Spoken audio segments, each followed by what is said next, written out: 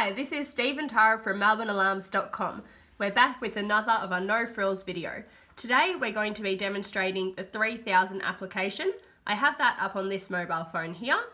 Straight away it brings us to our home screen where we can arm and disarm the system. The system is currently disarmed and we have no faults. To arm the system all we do is click on the bubble. From here we can arm in a way arming the whole house or optionally use our stay modes to arm the house when we're inside. From here, you have events, which you can use to see where an intruder has been. We have history, which is great. In history, we can see arming, disarming, zone alarms, zone troubles, everything the system is able to tell us. The only downfall would be that we can't actually label our zones. So they say zone 1, zone 4, zone 3, and so on. However, we can't put a name to them such as living room, lounge room, master bedroom. We also have outputs available, so we have the option to be able to run your garage from the application. I'm just going to lock the phone now and we're going to demonstrate how an alarm will come up on the phone.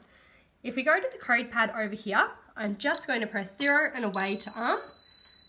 System's turning on, we're in a short exit delay. Once the exit delay finishes, we'll have a notification come up on the mobile phone.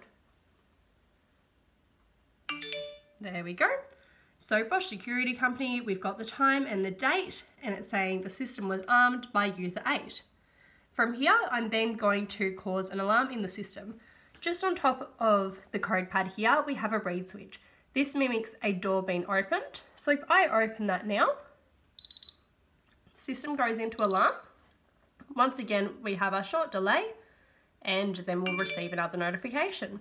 So Bosch Security Company, time and date, we've had an alarm from zone 1. From here, we can open it to see our full push notification.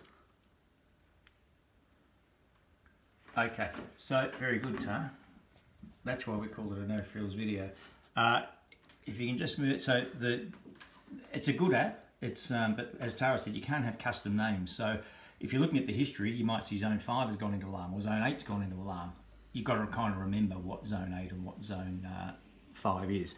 There's no custom alert. If you play the video back, when the alarm came up, it just went bloop bloop, just a standard native um, phone alert, which doesn't really draw your attention. It might be something you could miss easily. If you're relying on this to respond to your alarm, it can be easy to fix, and it can sometimes be a bit slow. On the positive side though, it's free. It doesn't cost you a cent. You do need to put the um, Ethernet adapter into the system, so when you buy the system, you've got to order the Ethernet adapter with it, but the app itself is absolutely free. So I hope that uh, was useful. Um, stay tuned, we've got another app coming up soon for the Bosch 3000.